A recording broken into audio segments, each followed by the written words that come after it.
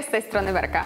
Dzisiaj przygotuję dla Was czekoladowy, bezcukrowy pudding z dodatkiem owoców, który możecie zjeść zarówno na ciepło, jak i na zimno.